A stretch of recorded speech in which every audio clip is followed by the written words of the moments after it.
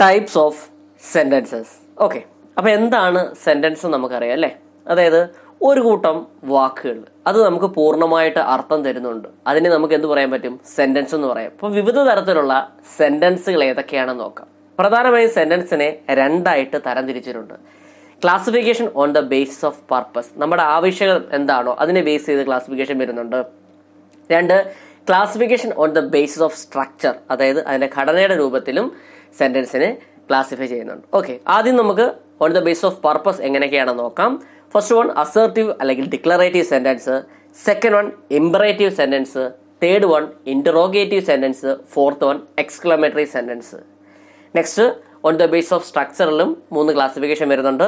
Simple sentence compound sentence complex sentence okay ആദ്യം നമുക്ക് എന്താണ് അസേർട്ടീവ് അല്ലെങ്കിൽ ഡിക്ലറേറ്റീവ് സെന്റൻസ് എന്ന് നോക്കാം. ഓക്കെ അപ്പം അസേർട്ടീവ് അല്ലെങ്കിൽ ഡിക്ലറേറ്റീവ് സെന്റൻസ് എന്ന് വെച്ച് ഒരു സ്റ്റേറ്റ്മെന്റ് ആണ്. ഒരു പ്രസ്താവനയാണ് അസേർട്ടീവ് സെന്റൻസ് എന്ന് പറയുന്നത്. ഓക്കെ ഒരു പ്രസ്താവന രൂപത്തിലുള്ള സെന്റൻസ് കാണുവാണെങ്കിൽ നമുക്ക് പെട്ടെന്ന് പറയാൻ പറ്റും എന്താണ്? അതൊരു അസേർട്ടീവ് സെന്റൻസ് ആണ്.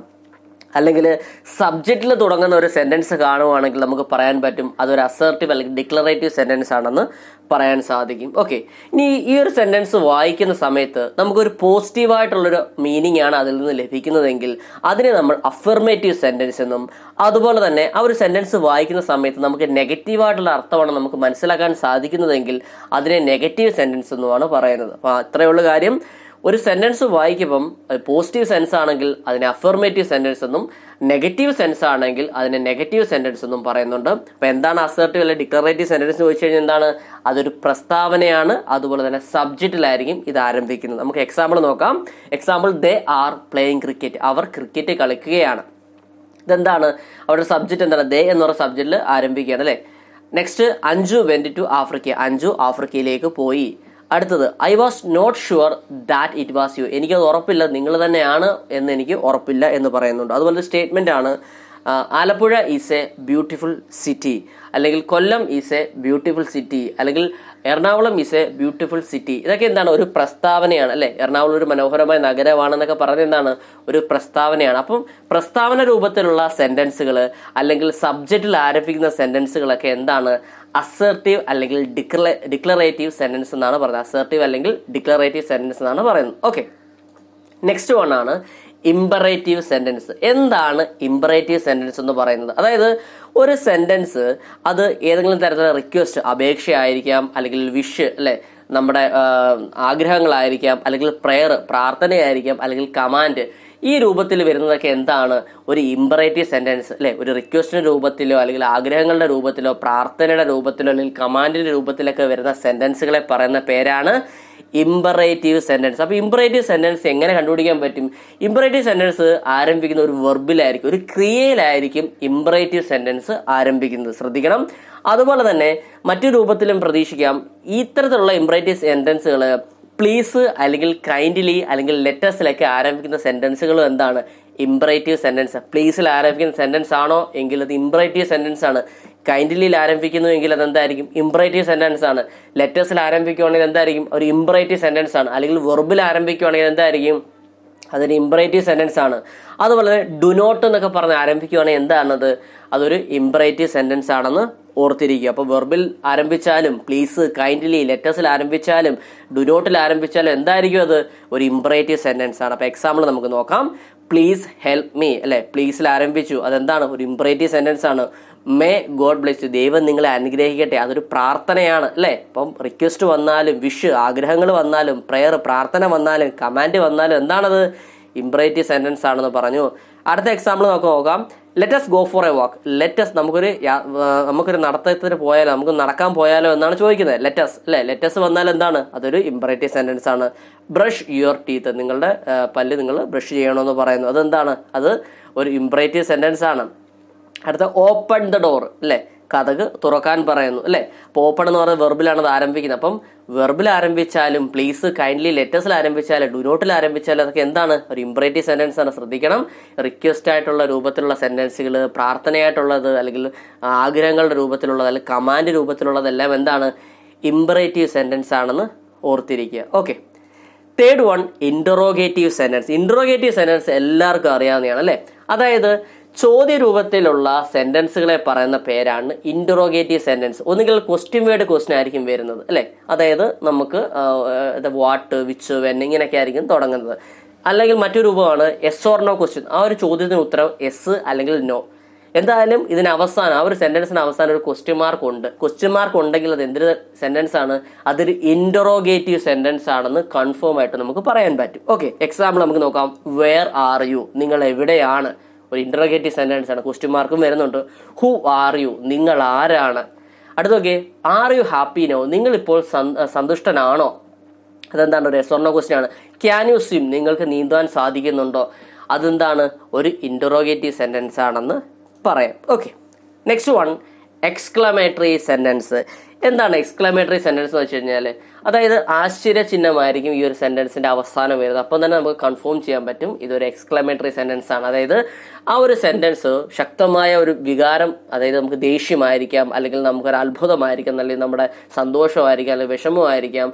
ഒരു സ്ട്രോങ് ഫീലിങ്സ് ആ ഒരു സെന്റൻസിൽ കാണിക്കുന്നുണ്ട് എങ്കിൽ അതുപോലെ തന്നെ ആ സെന്റൻസിന് അവസാനം അല്ലെങ്കിൽ ആ സെന്റൻസിന് ഇടയിൽ എപ്പോഴെങ്കിലും ഒരു എക്സ്ക്ലമേഷൻ മാർക്ക് ഉണ്ടെങ്കിൽ നമുക്ക് ഉറപ്പിക്കാൻ പറ്റും. അതൊരു എക്സ്ക്ലമേറ്ററി സെന്റൻസ് ആണെന്ന്. കേട്ടോ?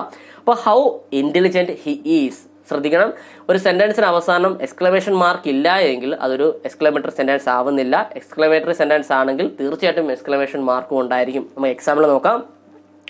ഹൗ ഇന്റലിജന്റ് ഹി ഈസ് അല്ലെ എന്ത് ബുദ്ധിയുള്ളവനാണ് അവൻ എന്നാണ് പറയുന്നത്?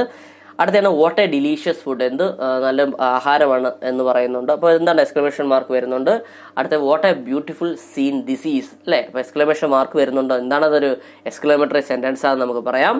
അടുത്ത അലാസ് ഹി ഫെയിൽഡ് അപ്പോൾ ഇതൊക്കെ എന്താണ് എക്സ്ക്ലമേഷൻ മാർക്ക് വരുന്നുണ്ട്. അതുകൊണ്ട് തന്നെ നമുക്ക് കൺഫേം ചെയ്ത് പറയാൻ പറ്റും. എക്സ്ക്ലമേറ്ററി സെന്റൻസ് ആണ് എന്നുള്ളത്. ഓക്കെ നെക്സ്റ്റ് ഇത് നിങ്ങൾ ചെയ്തു നോക്കണം. ക്വസ്റ്റ്യൻ ഇതാണ്. ഇതിന് ആൻസർ നിങ്ങൾ കമന്റ് ചെയ്യുക. ഓക്കെ ഞാൻ ക്വസ്റ്റ്യൻ വായിക്കാം. What a beautiful scene is a dash sentence അല്ലേ? ഇവിടെ ശ്രദ്ധിക്കണം ഒരു എക്സ്ക്ലമേഷൻ മാർക്ക് വരുന്നുണ്ട്. അപ്പോൾ ഇത് ഏത് തരത്തിലുള്ള സെന്റൻസ് ആണെന്ന് നിങ്ങൾ ചെയ്തു നോക്കുക. ആൻസർ കമന്റ് ചെയ്യുക. Okay second question choose imperative sentence imperative sentence ചൂടെ നൽകിയിരിക്കുന്ന ഏതാണ്? Are you a doctor how fantastic Sunday is holiday please help അല്ലേ? ഇത് വളരെ സിമ്പിളായിട്ട് പറയാന്നില്ല ഇമ്പറേറ്റീവ് സെന്റൻസ് ആണെങ്കിൽ ഒന്നീ വെറുബിൽ ആരംഭിക്കണം അല്ലെങ്കിൽ പ്ലീസ് അല്ലേ? പ്ലീസ് കൈൻഡ്ലി ലെറ്റേഴ്സിലൊക്കെ ആരംഭിച്ചാലേ അത് നമുക്ക് ഇമ്പറേറ്റീവ് സെന്റൻസ് ആണെന്ന് പറയാൻ പറ്റും. അപ്പോൾ ആൻസർ നിങ്ങൾ ചെയ്ത് നോക്കുക. Third one it is a lovely scene is a dash sentence ഞാൻ ഓൾറെഡി പറഞ്ഞ കാര്യമാണ്. എക്സ്ക്ലമേറ്ററി സെന്റൻസ് ആണെങ്കിൽ എപ്പോഴും എക്സ്ക്ലമേഷൻ മാർക്ക് ഉണ്ടായിരിക്കും. അതുപോലെ ഇൻട്രോഗേറ്റീവ് ആണെങ്കിൽ എപ്പോഴും അതൊരു ക്വസ്റ്റ്യൻ മാർക്ക് അവസാനം ഉണ്ടായിരിക്കും. ദെൻ ഇമ്പറേറ്റീവ് ആണെങ്കിൽ അത് വെർബിൽ ആരംഭിക്കുന്നതാണെന്ന് ഞാൻ പറഞ്ഞു. പ്ലീസ് കൈൻഡ് ലെറ്റസിന്റെ കാര്യമൊക്കെ ഞാൻ പറഞ്ഞിരുന്നു. അസർട്ടീവ് ഡിക്ലറേറ്റീവ് ആണെങ്കിൽ സബ്ജക്റ്റിൽ ആരംഭിക്കണം. അല്ലെങ്കിൽ അതൊരു പ്രസ്ഥാന രൂപത്തിലായിരിക്കണം എന്നുള്ളത്. ഓക്കെ അപ്പോൾ ഇത് it is a lovely scene അതൊരു മനോഹരമായ ഒരു സീനാണ് ഒരു കാഴ്ചയാണെന്ന് പറയുന്നു. അപ്പോൾ ഇത് ഏത് തരത്തിലുള്ള സെന്റൻസ് ആണെന്ന് നിങ്ങൾ ചെയ്ത് നോക്കുക. ഓക്കെ നെക്സ്റ്റ് രണ്ടാമത്തെ ക്ലാസിഫിക്കേഷൻ ആണ്. Classification on the basis of structure സെന്റൻസിനെ അതിന്റെ സ്ട്രക്ചർ അതിന്റെ ഘടനയുടെ അടിസ്ഥാനമാക്കി അതിന്റെ ക്ലാസിഫിക്കേഷൻ എങ്ങനെയൊക്കെയാണെന്ന് നോക്കാം. First one simple sentence second one compound sentence third one complex sentence simple sentence compound sentence അതുപോലെ തന്നെ complex sentence first one simple sentence എന്താണ് ഒരു സിമ്പിൾ സെന്റൻസ് എന്ന് പറഞ്ഞാൽ? A sentence that has only one main clause is called simple sentence അതായത് ഒരു സബ്ജക്റ്റും ഒരു വെർബുമുള്ള സെന്റൻസിനെയാണ് simple sentence എന്ന് പറയുന്നത്. അതായത് ഒരു സബ്ജക്റ്റും ഒരു വെർബുമുള്ള സെന്റൻസിനെയാണ് എന്ത് പറയുന്നത്? സിമ്പിൾ സെന്റൻസ് എന്ന് പറഞ്ഞാൽ. എക്സാമ്പിൾ നോക്കാം. അർജുൻ ഈസ് വാക്കിംഗ് അർജുൻ നടക്കുകയാണ്. ഐ ആം എ ടീച്ചർ അല്ലെ ഇവിടെ എന്താണ്? ഒരു സബ്ജക്റ്റും ഒരു വെർബുമാണ് വരുന്നത് അല്ലേ? അപ്പൊ ഇത്തരത്തിലുള്ള സെന്റൻസുകളെ ഒരു സബ്ജക്റ്റും ഒരു വെർബും ഉള്ള സെന്റൻസുകളെയാണ് എന്ന് പറഞ്ഞ് സിമ്പിൾ സെന്റൻസ് എന്ന് പറയുന്നത്. അടുത്ത എക്സാമ്പിൾ നോക്കാം. We should not cheat others നമ്മൾ മറ്റുള്ളവരെ ചതിക്കാൻ പാടില്ല എന്ന് പറയുന്നുണ്ട്. Seeing the lion she ran away അതായത് സിംഹത്തെ കണ്ട കണ്ട ഉടൻ തന്നെ അവൾ ഓടിപ്പോയി എന്ന് പറയുന്നു. ഓക്കെ അതുപോലെ ഐ എൻ ജിയിൽ ആരംഭിക്കുന്ന സെന്റൻസ് സീയിങ് അല്ലെ? സീയിങ് അല്ലെ? ഐ എൻ ജി വന്നുണ്ടോ ഐ എൻ ജിയിൽ ആരംഭിക്കുന്ന സെന്റൻസുകൾ എന്താണ്? സിമ്പിൾ സെന്റൻസ് ആണെന്ന് പറയാൻ പറ്റും. അപ്പം സിമ്പിൾ സെന്റൻസിൽ എന്താണ്? ഒരു സബ്ജക്റ്റ് ഒരു വെർബും ആയിരിക്കും ഉള്ളത്. അപ്പം അങ്ങനെയുള്ള നമുക്ക് കണ്ടുപിടിക്കാൻ പറ്റും. അല്ലെങ്കിൽ എന്താണ്? ഐ എൻ ജിയിൽ ആരംഭിക്കുന്ന സെന്റൻസുകൾ എന്താണ്? ഒരു സിമ്പിൾ സെന്റൻസ് ആണെന്ന് നമുക്ക് പറയാൻ സാധിക്കും. ഓക്കെ അടുത്തൊരു ക്ലാസിഫിക്കേഷൻ ആണ്. കോമ്പൗണ്ട് സെന്റൻസ് അപ്പോൾ എന്താണ് കോമ്പൗണ്ട് സെന്റൻസ് എന്ന് മനസ്സിലാക്കിയിരിക്കണം. അതായത് രണ്ടോ അതിലധികമോ മെയിൻ ക്ലോസുകളുള്ള സെന്റൻസുകളെയാണ് കോമ്പൗണ്ട് സെന്റൻസ് എന്ന് പറഞ്ഞത്. കോമ്പൗണ്ട് സെന്റൻസ് നമുക്ക് വളരെ പെട്ടെന്ന് തന്നെ കണ്ടുപിടിക്കാൻ പറ്റും. ചില വാക്കുകൾ ഫാൻ ബോയ്സ് എന്ന് ഓർത്താൽ മതി. ഫാൻ ബോയ്സ് അതായത് സെന്റൻസിൽ ഫാൻ ബോയ്സ് എഫ് എന്ന് വെച്ചാൽ for A means and N means nor അപ്പോൾ ഫോറ് ആൻഡ് നോറ് അതാണ് ഫാൻ എന്നുള്ളത്. ബോയ്സ് എന്നുള്ളതാണ് but O or Y yet S soya അപ്പം ഫാൻ ബോയ്സ് ഫാൻ ബോയ്സ് എന്ന് എവിടെയെങ്കിലും സെന്റൻസിനകത്ത് ഉണ്ട് എങ്കിൽ അതെന്താണ്? ഒരു കോമ്പൗണ്ട് സെന്റൻസ് ആണെന്ന് നമുക്ക് ഉറപ്പിക്കാൻ പറ്റും. കോമ്പൗണ്ട് സെന്റൻസ് വെച്ചാൽ രണ്ടോ അതിലധികമോ മെയിൻ ക്ലോസുകളുള്ള സെന്റൻസുകളെ പറയുന്ന പേരെന്താണ്? കോമ്പൗണ്ട് സെന്റൻസ് എന്നാണ് പറയുന്നത്. ഉദാഹരണം നമുക്ക് നോക്കാം. I am a doctor and my husband is a teacher ഞാനൊരു ഡോക്ടറാണ് അതുപോലെ തന്നെ എന്റെ ഭർത്താവ് എന്താണ്? ഒരു ടീച്ചറുമാണ് ഇവിടെ ആൻഡ് എന്ന് വരുന്നുണ്ട് അല്ലേ? ഞാൻ ഓൾറെഡി പറഞ്ഞു ഫാൻ ബോയ്സിന്റെ എഫ് എ എന്താണ് ആൻഡ് എന്നാണ് പറഞ്ഞത്. അപ്പോൾ I am a doctor and രണ്ട് മെയിൻ ക്ലോസുകൾ വരുന്നുണ്ടല്ലോ? യെസ് വരുന്നുണ്ട്. ആൻഡ് വരുന്നുണ്ട്. ആൻഡും വരുന്നുണ്ട്. അപ്പോൾ ഇതെന്താണ്? ഒരു കോമ്പൗണ്ട് സെന്റൻസ് ആണ്. അടുത്ത് നോക്കാം. He's still ill so he will not come so മനസ്സിലായോ? ബോയ്സിന്റെ എസ് എന്താണ്? സോ എന്നുള്ളതാണ് എസ് അല്ലേ? അപ്പോൾ അതെന്താണ്? ഒരു കോമ്പൗണ്ട് സെന്റൻസ് ആണ്. Third one I am good at dancing but I don't like it ഞാൻ ഡാൻ നന്നായി നൃത്തം ചെയ്യും പക്ഷേ എനിക്കത് ഇഷ്ടമല്ല എന്നും പറയുന്നുണ്ട്. അപ്പോൾ ഇവിടെ ബട്ട് എന്നുള്ളത് ബോയ്സിന്റെ ബി എന്താണ്? ബട്ട് എന്നാണ്. അപ്പോൾ ബട്ട് എന്ന് വരുന്നുണ്ടായതുകൊണ്ട് തന്നെ ഇതെന്താണ്? ഒരു കോമ്പൗണ്ട് സെന്റൻസ് ആണ്. രണ്ട് മെയിൻ ക്ലോസുകളെ പറ്റി തന്നെ പറയുന്നത് അല്ലേ? It was very cold however she went out അത് ഭയങ്കര തണുപ്പുള്ള ഒരു സമയമാണ്. എന്നിരുന്നാലും അവൾ പുറത്തേക്ക് പോയി. ഇവിടെ നോക്കി ഹൗ ഓവർ എന്ന് വരുന്നുണ്ട്. നമ്മൾ ഓൾറെഡി പറഞ്ഞ കാര്യമാണ് ഫാൻ ബോയ്സ് എന്ന് ഓർത്തിരിക്കണം. For and nor but or yet soya അല്ലേ? അപ്പോൾ ഈ വാക്കുകളൊന്നും ഇതിന്റെ അകത്ത് വന്നിട്ടില്ല. പക്ഷേ ഇതിന്റെ അകത്ത് രണ്ട് മെയിൻ ക്ലോസുകൾ വരുന്നുണ്ട്. ഇവിടെ ഇടയിൽ ഹൗ ഓവർ എന്നൊരു വാക്കാണ് വന്നിരിക്കുന്നത്. അല്ലേ? അപ്പോൾ ഞാൻ ഈ പറഞ്ഞിരിക്കുന്ന കോഡുകൾ അല്ലെങ്കിൽ ഈ വാക്കുകളല്ലാതെ മറ്റു ചില വാക്കുകളും വന്നേക്കാം. അതും കോമ്പൗണ്ട് സെന്റൻസിലാണ് ഏതൊക്കെയാണെന്ന് ഞാൻ പറഞ്ഞുതരാം. ഹൗ ഓവർ എന്നുള്ള വാക്ക് എന്നിരുന്നാലും എന്നുള്ള അർത്ഥം വരുന്നേക്ക് എന്താണ്? ഒരു കോമ്പൗണ്ട് സെന്റൻസ് ആണ്. However as well as while whereas therefore otherwise ഇതൊക്കെ എന്താണ്? കോമ്പൗണ്ട് സെന്റൻസ് ആണ് നമുക്ക് കണ്ടുപിടിക്കാൻ പറ്റും എന്തൊക്കെയാണ്? However as well as whereas therefore അതുപോലെ വൈൽ അതർവൈസ് ഇതൊക്കെ എന്താണ്? കോമ്പൗണ്ട് സെന്റൻസിനെ സൂചിപ്പിക്കുന്നതാണ്. കേട്ടോ എന്നിരുന്നാലും ഏറ്റവും കൂടുതൽ ചോദിക്കുന്നത് സിമ്പിളായിട്ട് ചോദിക്കുന്നത് for and nor but or yet so അതുകൊണ്ടാണ് ഫാൻ ബോയ്സ് പഠിച്ചു വെക്കാൻ പറഞ്ഞത്. Then third one complex sentence എന്താണ് ഒരു കോംപ്ലക്സ് സെന്റൻസ് എന്ന് പറയുന്നത് നോക്കാം. ഒരു സബോർഡിനേറ്റ് ക്ലോസും അതുപോലെ തന്നെ മെയിൻ ക്ലോസുകളും ഉൾക്കൊള്ളുന്ന സെന്റൻസുകളാണ് എന്ത്?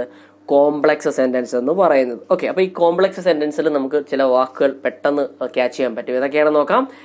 Who when which that unless since if ഇത്തരത്തിലുള്ള വാക്കുകൾ വന്നാൽ അതെന്താണ്? ഒരു കോംപ്ലക്സ് സെന്റൻസ് ആണെന്ന് പറയാൻ പറ്റും. ഏതൊക്കെയാണ്? Who when which that unless since if okay നമുക്ക് എക്സാമ്പിൾ നോക്കാം. When he saw the police she ran away when she saw the police അവൾ പോലീസിനെ കണ്ടപ്പോൾ അവൾ ഓടിപ്പോയി. അല്ലേ?